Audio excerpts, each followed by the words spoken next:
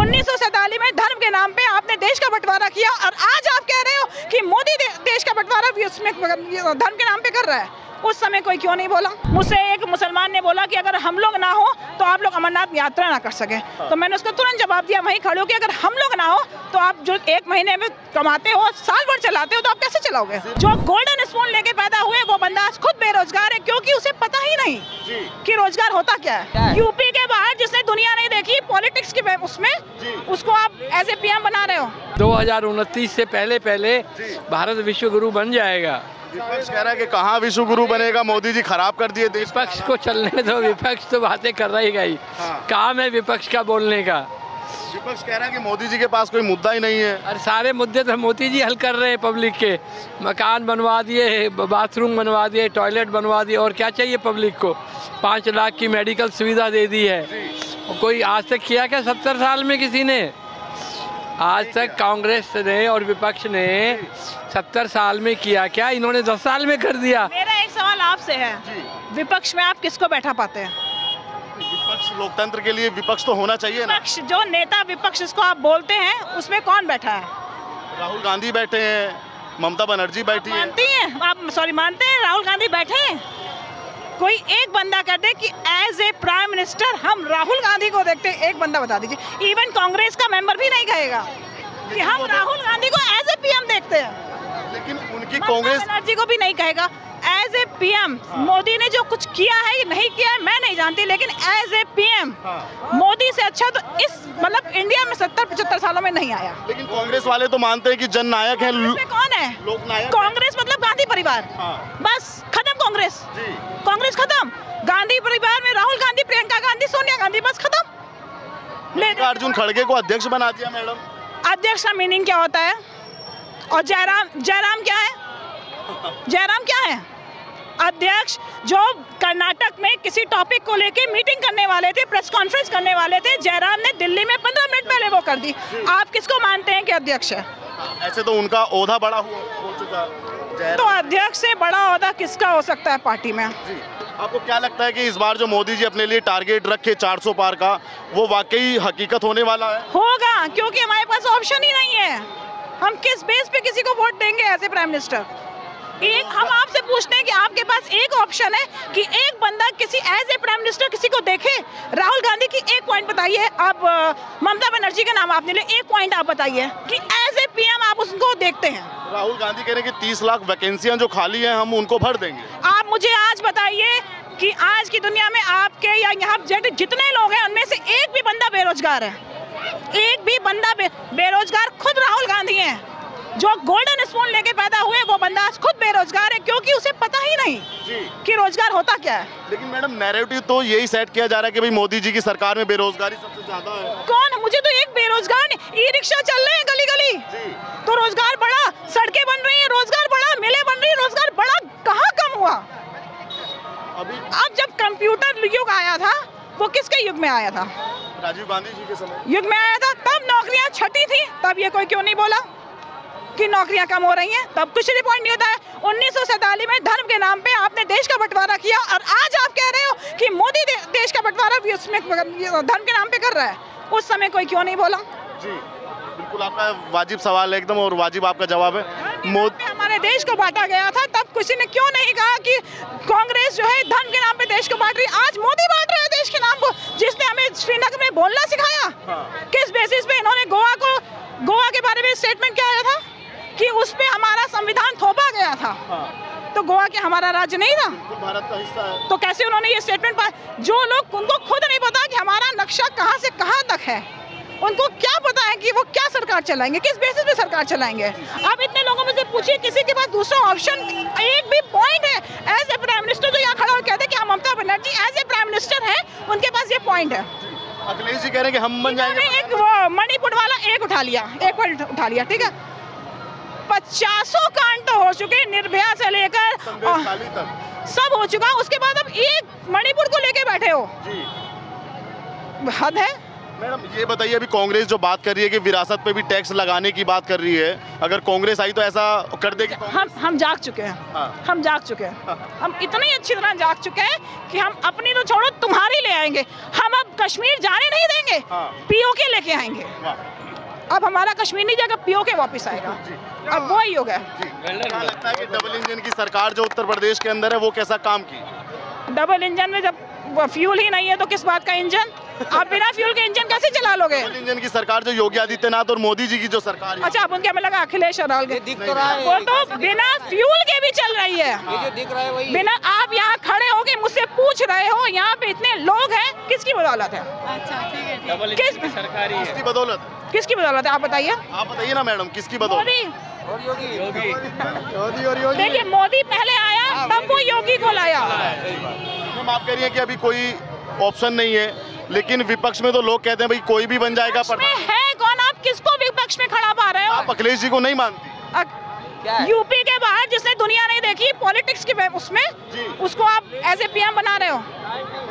UP के बाहर अखिलेश की क्या हैसियत है? उनके समर्थक तो कहते हैं कि अखिलेश यादव प्रधानमंत्री बनने चाहिए। उनकी बेटी भी आजकल वो प्रचार कर रही है। बेटी तो कैसे कोई कर सकता है? उनकी बेटी करे बेटा करे उनकी बीवी करे हाँ। सब करे। लेकिन आप कैसे बोल सकते हो कि मोदी के अलावा इन सब के पास कोई पॉइंट भी है खड़े होने की? खड़े हो रहे हैं? यही वो बहुत बड़े हैं कि मोदी के आगे खड़े हो रहे हैं। वरना उनकी औकात तो मोदी के पीछे भी खड़े होने की नहीं है। मोदी जी ने एक बयान दिया कि कांग्रेस भी आएगी तो महिलाओं के गहने तक भी छीन लेगी कांग्रेस। हम छीनने नहीं देंगे। हम छीनने नहीं देंगे। हम हम तो हम तो खुद लूटने वाले बन चुके हैं। हाँ। हम अपना हक छोड़ने वाले तो नहीं हैं। हम उनका हक उनसे छीन लेंगे लेकिन अपना हक नहीं छोड़ेंगे। अच्छा मैडम आप ये बताइए एज ए वुमेन कितनी सेफ्टी कितनी सिक्योरिटी आप मानती है आज के समय यूपी में तो बहुत है। हाँ। आज भी मैं अयोध्या में हनुमानगढ़ी में खड़ी थी। मुझे एक पुलिस वाले ने वहाँ लेडीज़ पुलिस होनी चाहिए फॉर लेडीज़ को कि आप आगे बढ़िए। उसने मुझे हल्का सा टच कर दिया। मैंने उसकी वहीं पे उतार दी। टाइट कर दिया उसको? हम्म, तो वहीं पे उतार दी कि आपकी हिम्मत कैसे हुई कि हाउ डे यू टच मतलब मी आप मुझे नहीं टच कर सकते। जी मैं श्रीनगर गई। मुझसे एक मुसलमान ने बोला कि अगर हम लोग ना हो तो आप लोग अमरनाथ यात्रा ना कर सके। तो मैंने उसको तुरंत जवाब दिया वहीं खड़े हो कि अगर हम लोग ना हो तो आप जो एक महीने में कमाते हो साल भर चलाते हो तो आप कैसे चलाओगे? तो आप भूखे रहोगे। तो इसलिए ये हमको मत कहो कि हम तुम्हारी बदौलत अमरनाथ के दर्शन कर रहे हैं। गलत है। मैडम ये आरोप भी लगता है कि मोदी जी ने विकास तो सबका किया लेकिन आरोप लगाने वाले ये भी कहते हैं कि मोदी जी ने सिर्फ़ एक ही समुदाय को लेकर सिर्फ़ मंदिर मंदिर बनाए मस्जिदें क्यों नहीं बनवाई? तो मस्जिदें तो खुद ही इतनी मस्जिदों में होता क्या है? क्या होता है? सिर्फ़ नमाज़ पढ़ी जाती है नमाज़ में में क्या पढ़ा जाता है कि हम बड़े और हम ही बड़े? उसमें रोज़गार किसी को थोड़ी ना मिलता उसमें रोज़गार क्या मिल रहा है? तो आप ये बताइए कि कांग्रेस का एक पॉइंट जिसने रोज़गार बनाया मतलब जिससे रोज़गार उत्पन्न हुआ जी। क्या उन्होंने मिल्स बनाई क्या उन्होंने कुछ ऐसा, रोड भी तब नहीं इतनी बन रही थी कि उसमें भी रोज़गार है। आज ये रिक्शा चल रहा है, उसमें भी रोज़गार है। एक ठेली वाला जो धूप में खड़े होकर कमा देखिए, लोगों का ये मानना है कि मैं एम पास हूँ तो मैं उसी के अकॉर्डिंग जॉब करूँगा। रोज़गार ऐसे नहीं आता है। आपने प्रेस की पढ़ाई की है आप यहाँ पे खड़े हो। बहुत से ऐसे लोग हैं जैसे मास कम्युनिकेशन का कोर्स किया होगा, लेकिन वो हो सकता है आपकी तरह नहीं बोल पा रहे हो। तो उनको कैसे जॉब मिलेगा? उनको जॉब नहीं मिल सकता क्योंकि उनके अंदर क्वालिटी वो है ही नहीं जो आपके अंदर है। तो इस कारण जो पढ़ाई करने के साथ साथ सोचता है कि मैं वो कर ले जाऊँगा तो ये पॉसिबल नहीं है। आपको रोज़गार चाहिए कि आपको जो आप पढ़ के आए वो चाहिए। वो चाहिए राहुल गांधी से अच्छा पढ़ा लिखा नेता तो केजरीवाल के अलावा कोई नहीं है। राहुल गांधी बहुत पढ़े लिखे एजुकेटेड है। लेकिन आप बताइए कि उनको बात करने की तमीज़ है? मतलब बात करने की तमीज़ इन सेंस कि वो क्या बोलते पॉलिटिशियन हैं लोग उनको एक्सेप्ट करते ही नहीं। क्या बोलते हैं उन्हें खुद नहीं पता। जो आदमी आलू से सोना बनाता है तब भी हमारा देश इतना सत्तर साल से पीछे था। कैसे हो गया? आज उन्होंने गंगा अभियान ने मोदी जी ने अपने बच्चे वापस बुला लिए थे यूक्रेन से। क्या किसी नेता की सोच थी कि वो सोच सकता है कि अपने बच्चे वापस बुलाए? वो अपने बच्चों को आज भी किसी भी नेता ने अपने बच्चे को चौदह से पहले क्या आर्मी में डाला? नहीं डाला। नहीं डाला था। अभी ये जो कौन सी वीर योजना आई है? अग्निवीर योजना। अग्निवीर की योजना की तरफ़ में ये मनोज तिवारी ने अपनी लड़की को डाला उसमें। हाँ, हमने तो आज तक किसी नेता को नहीं देखा जो आर्मी में गया हो जिसका बच्चा आर्मी में गया हो। जी। तो आप बताइए रोज़गार अब रोज़गार ये सब तो वही है ना कि हमारे पास कुछ नहीं है और हम आपको थप्पड़ मार दें। करें विपक्ष को आप इतना कमज़ोर बता रही हैं और आप महसूस है ही नहीं। विपक्ष है कौन? मुझे आप बताओ तो विपक्ष है कौन? मैडम वो कह रहे हैं कि दोनों चरण भाजपा हार गई और पाँच चरणों पे सोनिया गांधी से लेके नहीं आपको पता नहीं है। आप जो देख रहे हो ना कितने परसेंट चुनाव हुआ आप 14 और 19 के अकॉर्डिंग देख रहे हो। जब आप 14 और 19 के पहले के देखोगे जो वोटिंग हुई है उसके कंपैरिजन में ये ठीक है इट्स ओके 14 में मोदी आया क्योंकि मोदी का जो नाम आया था वो ये आया था कि जब गुजरात का वो सीएम बना तो गुजरात ज़ीरो था। हाँ। उसने मतलब 10 सालों के अंदर गुजरात को इंडस्ट्रियल में इंडिया में टॉप में कर दिया। इसलिए मोदी आया तो लोगों ने वोट दिया। फिर इतना कुछ हो गया इन पाँच सालों में फिर लोगों ने 19 को वोट दिया। अब 14 19 को हटा के अगर आप पहले की वोटिंग देखोगे परसेंटेज तो उसमें कोई ज़्यादा फ़र्क नहीं है। आप सिर्फ़ 14 और 19 के अलावा कुछ देख ही नहीं रहे हो। मैम ये बताइए आप कांग्रेस लोगों को क्यों अपनी तरफ़ आकर्षित करने में असफल है? और इतनी बड़ी पार्टी आज बिल्कुल 40 सीटों पे सिमट गई क्या कारण? माइक लेके खड़े हो आप अच्छा पूछ रहे हो तो मैं अच्छा बोल मैं अच्छा बोल रही हूँ इसलिए आप मुझसे पूछ रहे हो। ठीक है ना? ये फैक्ट है। हाँ। तो कुछ पॉइंट होना चाहिए अट्रैक्शन के लिए? अगर मैं बाइक ऐसे लेके पकड़े खड़ी हो जाऊँ तो आप शायद यहाँ से ऐसे निकल जाओगे। सेम यही है कांग्रेस के साथ भी। कि उनके पास बोलने को कुछ नहीं है करने को तो पहले भी कुछ नहीं था बोलने को कुछ है ही नहीं तो कौन उनका क्या कर सकता है? तो आपको लगता है कि 400 पार कर देगी भाजपा? 400 पार तो नहीं जाएगा क्योंकि जब उनका परसेंटेज हुआ था तो 60 प्लस 40 था। अब सब मिल गए हैं तो 400 पार तो देखिए मुश्किल है। मुश्किल है लेकिन हाँ पूर्ण बहुमत और अच्छे बहुमत से आएगी। सरकार पूर्ण बहुमत के साथ पूर्ण बहुमत के साथ आएगी। विपक्ष का क्या हो- होगा 24 के बाद में 2024 के बाद राहुल गांधी संन्यास लेंगे? हाँ। और शादी उनकी होनी नहीं है तो वो संन्यास लेके अपना देखेंगे। और उनकी बहन प्रियंका गांधी रायबर एक बात ये बताइए जैसे कहा जाता है कि योगी हिंदुओं के देखते हैं। कभी किसी ने कहा कि ओवैसी मुसलमानों के नेता हैं? कभी किसी का स्टेटमेंट आया? पार्टी में तो खुद ही सही मुसलमान है। हो चाहे ना हो। ओवैसी के लिए कभी किसी ने नहीं कहा कि वो मुसलमान का नेता है। लेकिन योगी हिंदू का नेता है जबकि वो भग, भगवा उसने धारण नहीं करा है वो तो हमारा है ही है। लेकिन ओवैसी ने कहा कि योगी मठ में चले जाएँगे और मोदी पहाड़ों में चले जाएँगे तो वो हमको बताएँगे। कौन बचाने आएगा? कौन बचाने आएगा? तो, तो आप सोचिए उनकी मानसिकता क्या है? आप देखिए कि कश्मीर के रास्ते ही क्यों हमेशा आतंकवाद आया? पंजाब में काफ़ी साल पहले बंद हो गया कश्मीर में ही आया। क्यों? क्योंकि वहाँ मुस्लिम है। देखिए हम हिंदू मुस्लिम करने नहीं आ खड़े होते। लेकिन मानिए कि मुस्लिम के अंदर आज भी पाकिस्तान प्रेम छुपा है। ये बताइए मोदी जी के जो इतिहास में दर्ज होंगे काम कोई ऐसा काम आप मानती है? चलो राम मंदिर हो गया धारा 370 और कुछ जो बदलाव किया हो चौदह के बाद में मोदी जी के आने के बाद पॉलिटिक्स में कोई आप चेंज देखती हो? मेरे कजिन वगैरह हैं न्यूयॉर्क वगैरह में पढ़ते हैं। जी। तो आज वो मतलब जाके लोगों से अगर कहते हैं ना कि मैं इंडिया से हूँ तो उनको पता है कि इंडिया का प्राइम मिनिस्टर कौन है। पहले शायद लोगों को ये नहीं पता था कि मनमोहन सिंह हैं कि राजीव गांधी हैं कि कौन है पहले लोगों को नहीं पता था लेकिन आज लोगों को पता इवन न्यूयॉर्क में फॉरनर छोटे छोटे बच्चों को पता है कि इंडिया का प्राइम मिनिस्टर नरेंद्र मोदी जी है। जी।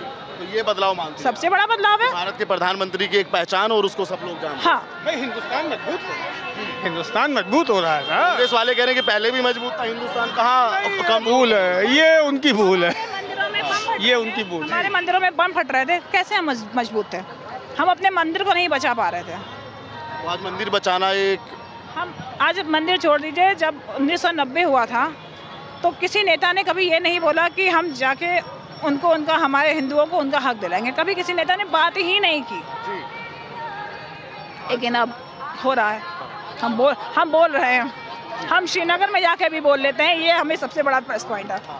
ये कह रहे हैं कि आज हम श्रीनगर में भी खुल के बोलते हैं। बोल के आई हैं बोल के आई हैं। बाकायदा लाल चौक पे बोल के आई हैं। लाल चौक पे बोल बोल के आई हैं। आपको मैं टाइम और डेट नहीं बता सकता हूँ। इनकी एक क्लिप आई थी न्यूज़ में जैसे आपका चैनल है वैसे इनकी न्यूज़ में क्लिप आई थी। ये बाकायदा लाल चौक में बोल के आई थी ये बहुत अच्छे से बोल के आई थी। और हिंदुस्तान का झंडा लहरा रहा था कहीं ये देखिए बदलाव। मैडम ने तो विपक्ष विपक्ष को खत्म ही कर दिया। हाँ वो एक मानसिकता है अपनी अपनी भाई कोई आदमी क्या सोचता है वो इनकी सोच है। लेकिन विपक्ष खत्म नहीं होना चाहिए। विपक्ष खत्म होने से फिर बोलेगा कौन? लोकतंत्र में होना चाहिए होना चाहिए। आवाज़ उठाने वाला भी तो होना चाहिए ना। वो भले ही सही करें गलत करें। हाँ। लेकिन कोई चिल्लाने वाला भी तो हो कि ये गलत भी तो कर रहे हैं। जी। वरना तो फिर राजशाही हो जाएगी। हाँ। लेकिन हैं हम भैया पक्का बीजेपी वाले बाकी दुनिया जो हो रहा है कुछ भी हो। गठबंधन से किस तरह सामना करेंगे मोदी? अब भाई इस सवाल का जवाब मैं तो नहीं दे सकता हूँ क्योंकि इतनी ज़्यादा पॉलिटिक्स में इंटरेस्ट भी नहीं है।